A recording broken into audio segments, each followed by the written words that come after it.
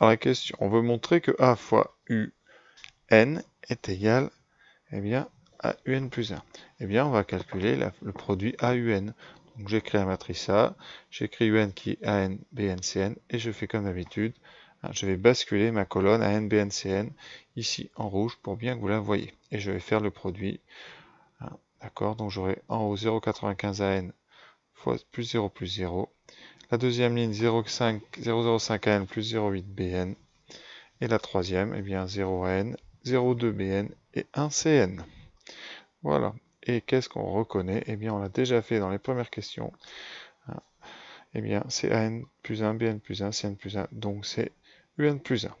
Voilà, cette question est faite. Et maintenant, on peut passer donc à la récurrence, à la question 5.2, qui est une récurrence très très classique, que vous avez déjà fait dans plein de sujets de bac, et que moi aussi j'ai déjà fait. Alors, nous allons montrer pour tout n appartenant à n, que n est égal à a puissance n u0. Au rang 0, donc à gauche c'est U0, à droite c'est A puissance 0, U0, et on sait que A puissance 0, hein, par définition, la puissance 0 des matrices, c'est l'identité, donc c'est I3 fois U0, c'est donc U0. Donc l'initialisation, on a vérifié, c'est vrai au rang 0. Voilà, maintenant l'hérédité. On va supposer, eh bien, que pour une certaine valeur, la propriété est vraie. Donc on l'écrit, hein, comme d'habitude, hein, vous commencez à savoir faire. Voilà, donc on suppose que pour un certain P, UP est égal à P fois U0. Et on va montrer que UP plus 1 est égal à P plus 1 fois U0. Voilà, donc comme d'habitude, UP plus 1 c'est A fois UP, c'est ce qu'on vient juste de montrer en 5.1. Et eh bien, on va utiliser immédiatement l'hypothèse de récurrence. Ça veut dire que ça fait A fois A puissance P fois U0. Et par associativité, on va multiplier A par A puissance P, et ça nous donne eh bien, A puissance P plus 1. D'accord? A puissance P plus 1, donc fois U0. Et vous avez vu, eh bien, c'est déjà fini, parce que c'est justement hein, ce qu'on voulait montrer. Voilà, j'ai tout rédigé, donc on écrit hérédité démontrée, et on a bien pour tout n appartenant donc à n, et eh bien un qu'il faut à puissance n fois u0. Voilà.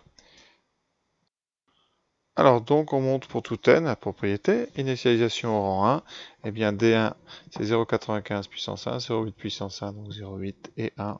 Donc on retrouve bien la matrice D, pas de problème, c'est vrai au rang 1. On suppose que pour un certain P, eh bien dP, un P non nul ici, dP eh bien c'est 0,95 puissance P, 0,8 puissance P et 1. Et on va eh bien, calculer D puissance P plus 1. Alors là c'est vraiment très facile. Hein. Donc d puissance p plus 1, c'est d fois d puissance p. Hein. Oula, il y a un plus 1, donc voilà, c'est d puissance p. Et j'écris les deux matrices, et ensuite je vais faire le produit en direct. Alors le produit, eh bien, il n'est pas compliqué. Hein. D'accord? C'est-à-dire que vous aurez eh bien 0,95 fois 0,95 p voilà. Ensuite, fois plus 0 fois 0, plus 0 fois 0. Pour la deuxième ligne, eh bien, vous avez des 0 partout, puisque vous avez 0,95p fois 0, 0,8 fois 0 et 0 fois 0. Et pour la dernière ligne, c'est pareil. Ce qui fait que vous aurez des 0 partout, hormis sur les diagonales. Et ici, vous aurez 0,8 fois 0,8 puissance p.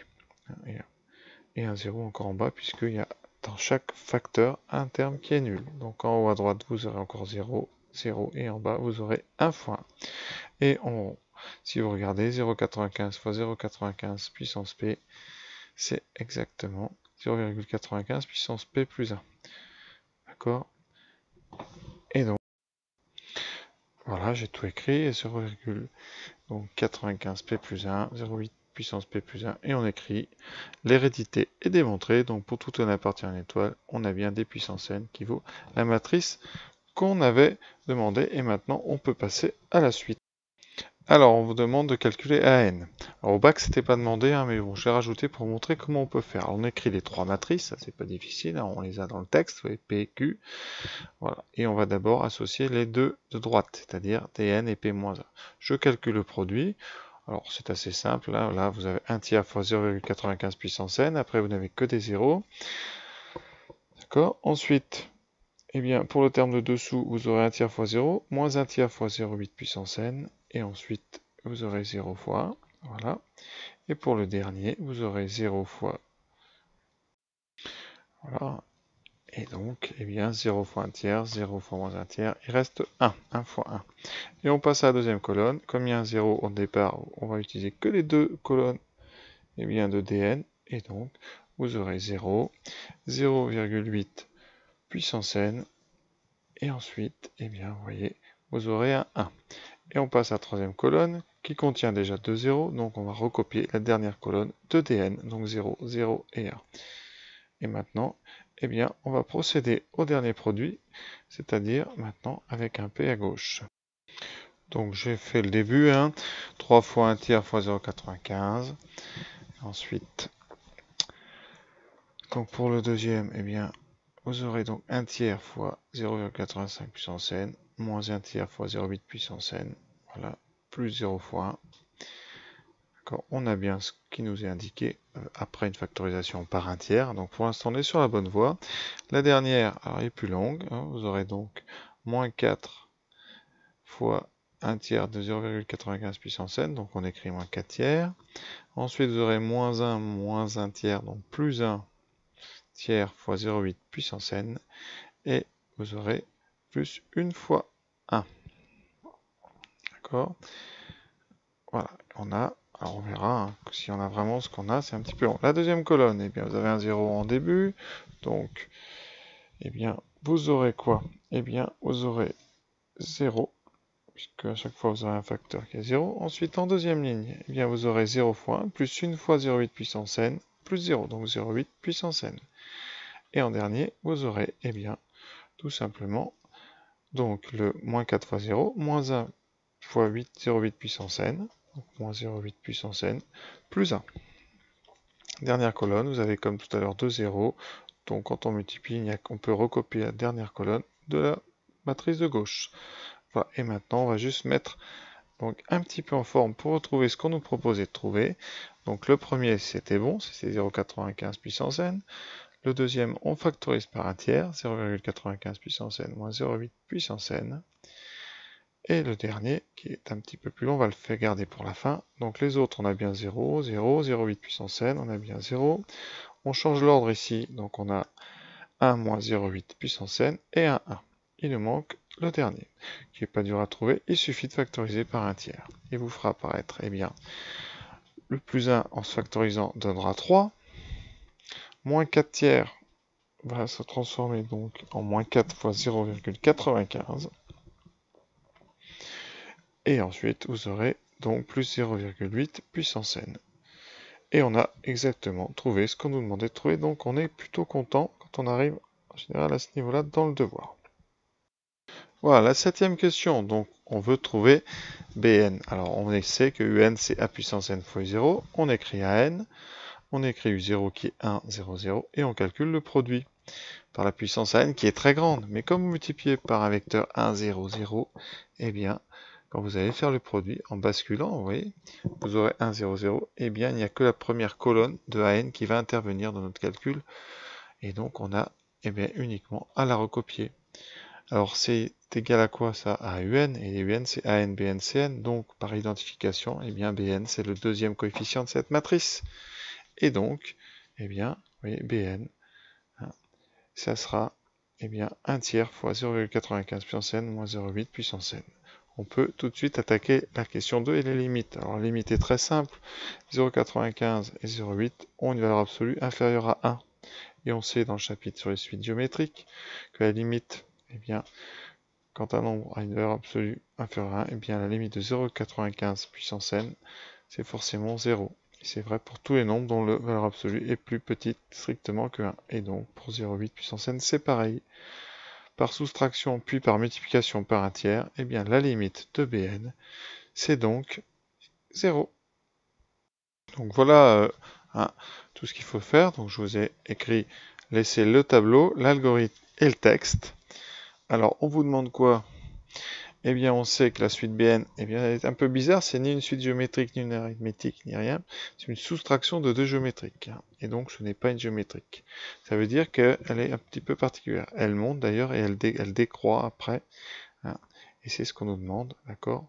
C'est à quel moment elle arrête de croître pour commencer à descendre. Ce moment-là s'appellera le pic épidémique, c'est-à-dire le maximum hein, avant la descente. Et cet algorithme eh bien, a pour but de trouver justement le jour, puisqu'on on est sur une étude avec des jours, on est ici le jour du pic hein, épidémique.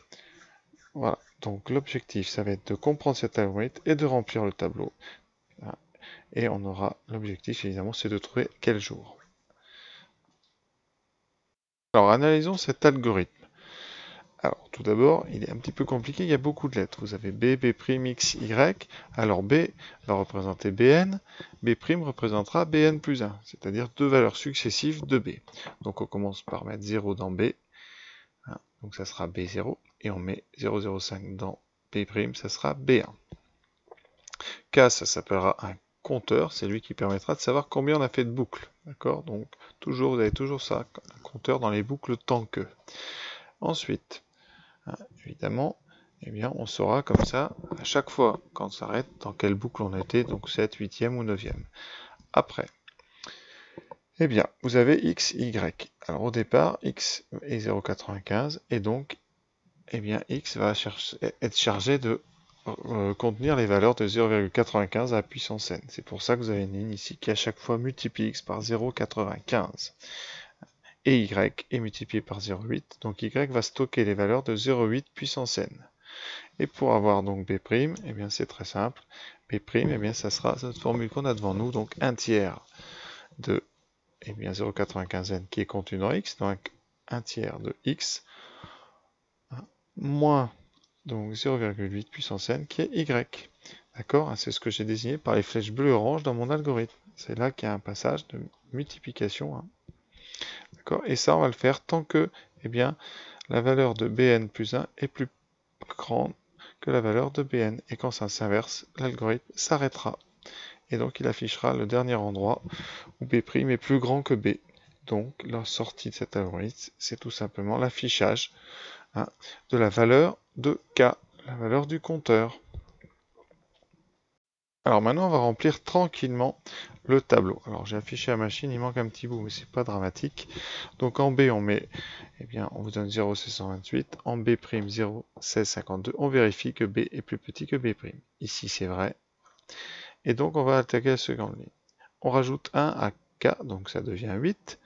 Ensuite, eh bien, B est remplacé par B', donc à la place de B, on met 0,1652, c'est-à-dire l'ancien B'. Voilà, et on va multiplier x par 0,95 et y par 0,8. Donc j'allume la machine, je tape x, donc 0,6634, je le multiplie par 0,95, et ça me donne 0, donc ici 63, 0, alors on ne voit pas la fin, donc vous aurez tout ici 0,322. Alors euh, on va laisser 4 chiffres, je rajouterai peut-être après, on verra, si on veut être précis. On fait pareil donc avec y, 0,1678 78 fois 0,8. Voilà, donc ça fait 0,13 424. Ouais, on, allez, on va inscrire tous les chiffres, c'est pas grave. Donc pour x, on va à 63,023 et pour y, 0,13 424. Pour b, eh on fait un tiers de x moins y. D'accord? Et on va donc obtenir la valeur de b'. Donc je l'indique. Alors ici, vous mettez, comme font tous les élèves, un tiers fois, eh bien, j'écris mes deux valeurs, x moins y. Alors qu'est-ce qui va passer comme problème? Mais Si vous écrivez ça comme ça, vous voyez, soit un tiers, pour la machine, ce ne sera pas un tiers. Le 3 va multiplier la parenthèse, et donc vous aurez un résultat faux. Donc, faites bien attention, le 1 tiers, on le gérera un petit peu autrement dans la deuxième étape.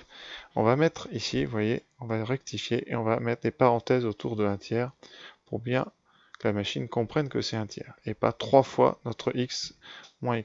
Et vous allez voir tout de suite, on tombe sur un résultat plus acceptable, 0,16, 53, 3, qui est la nouvelle valeur de b', qu'on va comparer à b. C'est toujours plus grand que b, vous voyez. Et donc, eh bien, le test est encore vrai. et on va commencer une nouvelle boucle.